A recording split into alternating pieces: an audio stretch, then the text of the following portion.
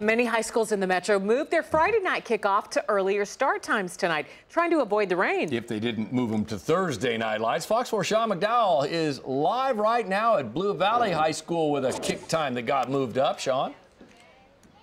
John, Lauren, I'll tell you, for now the weather looks pretty darn good, but you're right. Joe Lauria and the other meteorologists have told us that there is inclement weather, at least the potential of that coming. Hi, everybody. Welcome to Blue Valley High School. Speaking of the meteorologists, so many local high school football teams heeded the potential warnings of inclement weather. At least nine local kickoffs that were originally scheduled for 7 o'clock on Friday night tonight have moved their kickoffs either to Thursday night last night or to earlier kickoff times today. And that includes 3 and 1 Rockhurst and their visit to 2 and 1 Blue Valley. Let's pick up the highlights in the first quarter as Tony Severino and the Hawklets hit the road for Stilwell to square off with these Tigers on homecoming night or afternoon as it were. Highlights from the first quarter. There's no score when Jake Wolf is picked off by Rockhurst Stephen Burge, a senior with the interception. And like we said, it's hot out here. Alan Terrell trying to do anything to keep his Tigers cool. This was cool. Best play of the half. Wolf, this one finds its mark. It's Kevin Egan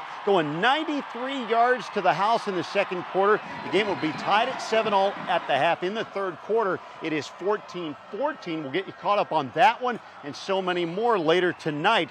There's a lot to cover, too. Bishop Miege upset last night by St. James Academy. Unbeaten Staley knocked off at home. And tonight there is the Battle of Blue Springs as Blue Springs and Blue Springs South meet up. We'll see you tonight at 1045. You do not want to miss that when Harold, Jessica, Chad, yours truly, and so many others get together for that weekly affair. We'll see you tonight on Fox 4 News at 10 o'clock. Until then, Sean McDowell, Fox 4 Sports.